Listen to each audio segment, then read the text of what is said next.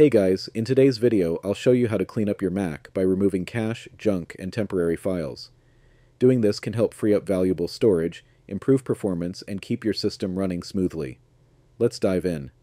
We'll start by clearing the system cache. First, open Finder, then click on Go in the menu bar and select Go to Folder.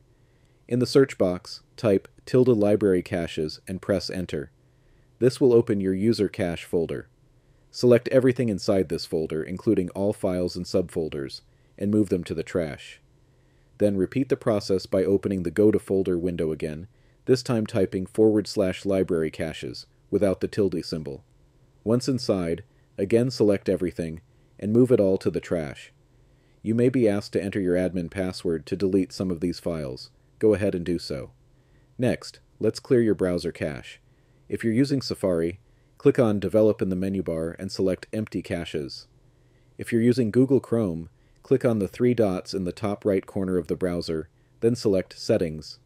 Scroll down and click on Privacy and Security, then choose Clear Browsing Data. In the pop-up window, go to the Basic tab, make sure Cached Images and Files is checked, and select the time range you want. Usually all time is best for a full cleanup. Then click Clear Data to remove the cached files. To remove temporary files and logs, open Finder again and use the Go to Folder option. Type tilde library logs and delete everything inside that folder. You can also navigate to slash private slash var slash folders to find temporary system files, but be cautious.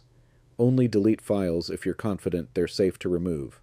If you'd rather avoid doing all this manually, there are third-party apps that make the process easier. Tools like CleanMyMac, CCleaner, and OnyX can scan your system for junk files, caches, logs, and other unnecessary data, then remove them all with just a few clicks. After cleaning up, don't forget to empty the trash. Until you do, the files you've deleted are still taking up space on your system. And that's it.